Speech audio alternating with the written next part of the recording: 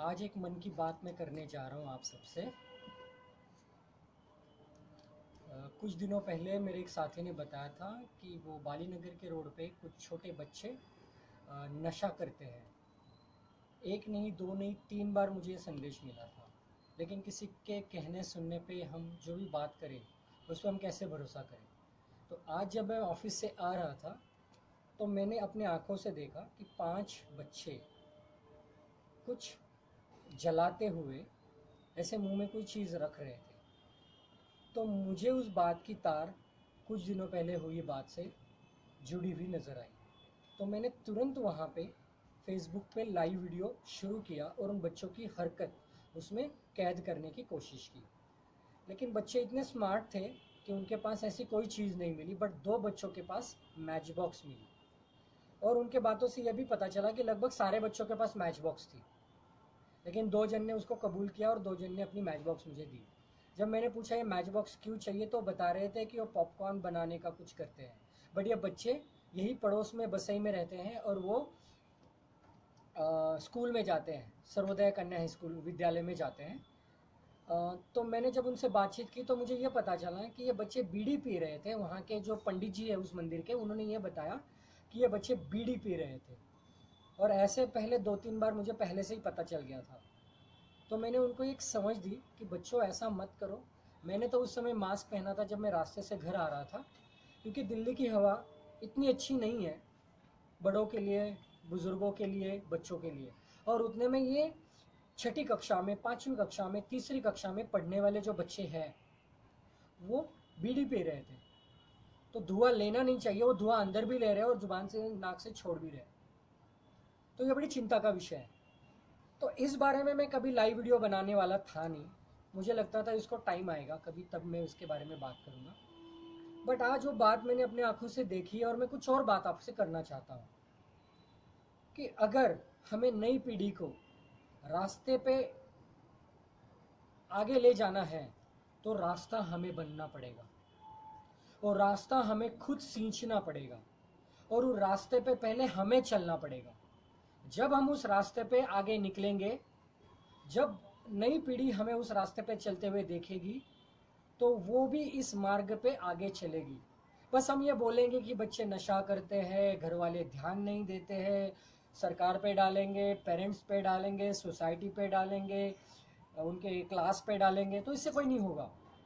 तो मैं ये सोचता हूँ कि एक तो उनको बिगड़ने के बाद उनको सुधारने में बहुत ज़्यादा समय चला जाता है। तो मेरे आपके आपके सामने मेरे पास जीता जागते उदाहरण है।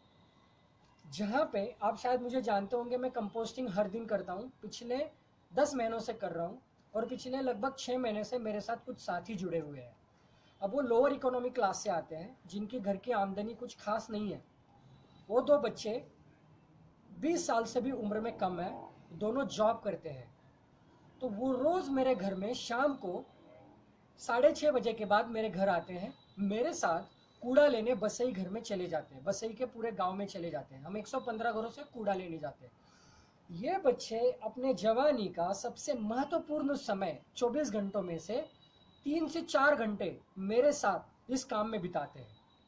तो अगर हम गलत चीज़ों में जाने से उनको इस तरह से रोकें तो उनको गलत चीज़ों में उनका समय बर्बाद नहीं होगा और उनको सुधारने से सुधारने में जो टाइम जाएगा, उसमें हमारी समय उसमें हमारी एनर्जी सब कुछ बचेगी। मैं आपको जीता जागता उदाहरण देता हूँ। ये देखिए। यह है विकास।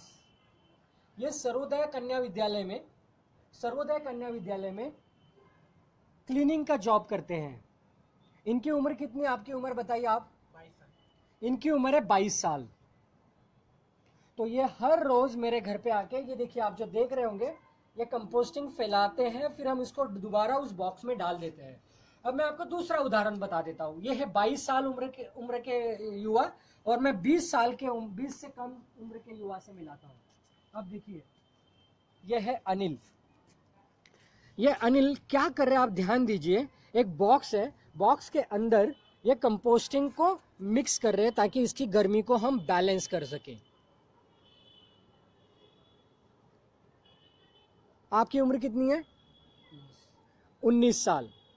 तो ये दो युवा मेरे साथ हर रोज तीन से चार घंटे अपने जवानी का महत्वपूर्ण समय मेरे साथ देते हैं। तो अगर ये गलत संगत में गलत चीज़ों में फंसेंगे ही नहीं तो उनको सुधारने के हमारा टाइम बच जाएगा। अब ये जो लड़का है इसको देखिए ये है कार्तिक। ये मेरे साथी के आ, हमारे मेरे साथी है मिशन के उनके रिलेटिव हैं। तो उनके पास से यह आया है। वो एक दिन देखने आया था कंपोस्टिंग और अपने मामा से बोल के यहाँ पे रोज आने की बात कर रहे हैं। छुट्टियों के लिए आए हैं दिल्ली। तो ये काम क्या कर रहे हैं? देखो इनके हाथ में मोबाइल है। और ये मोबाइल की लाइट से इस बॉक्स में कुछ दिखा रहे हैं। अब इस छोटे युवा को देखो आप कितने कौन सी कक्षा में पढ़ते हो बताओ? एट्थ में। आपकी उम्र क्या है?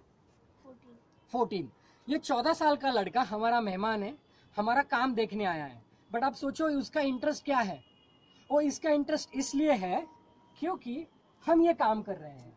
तो मैं आपसे यही कह रहा था, अगर हम युवाओं को अच्छा मार्गदर्शन देना चाहते हैं तो पहले हम उसका मार्ग बनना पड़ेगा।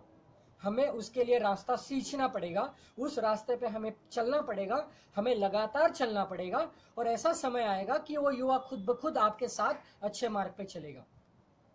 तो नशा करने वाले बच्चों से मुझे आज इस बारे में चर्चा करने का औचित्य लगा।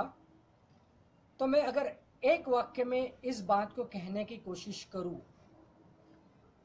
तो मैं ये कहूँगा, बच्चों को गलत संगत से बचाने के लिए उनके बाजू में अच्छी संगत होना ज़रूरी है। हमारी नज़र बच्चों पे कड़ी होनी चाहिए, डांटने फटकारने के लिए नहीं। वो क्या करते हैं, क्यों करते हैं, कैसे करते हैं, उनको बदलने के लिए खुद को बदलना पड़ेगा। नशा, ये सब्जेक्ट इसके ऊपर मैंने अभी कोई काम शुरू नहीं किया है। जब ये composting Swachh Bharat mission cleaning drive tree plantation ये एजुकेशन कंपोस्टिंग एजुकेशन अवेयरनेस जब ये अच्छे मकाम पे पहुँचेगा, तब इस विषय में भी मैं अपनी ज़रूर कुछ योगदान देने का प्रयास करूँगा। मैं आपको बस इतना कहना चाहता हूँ। कि ये वीडियो देखने के लिए धन्यवाद। हम सारे, ये जो दो युवा लड़के मेरे साथ हैं, वो सुबह ड्यूटी पे जाते हैं। कितने बजे ड्यूटी पे जाते हो आप? मैं इनके ज़ुबान से बुलवा रहा हूँ। ये सुबह साढ़े छह बजे ड्यूटी पे जाते हैं और दोपहर में इनकी ड्यूटी खत्म होती है, फिर वो शाम को आते हैं। मैं सुबह सात बजे ऑफ़िस के लिए निकलता हूँ, शाम को सात बजे ऑफ़िस से घर आता हूँ, उसके बाद ये कंपोस्टिंग हम करते हैं। तो मेहनत हमें करनी पड़ेगी, लगातार मेहनत करनी पड़ेगी। और युवा पीढ़ी का मार्ग हमें खुद बनाना पड़ेगा। जब वो बनेगा तो युवा खुद ब खुद उस रास्ते पे चलेगा।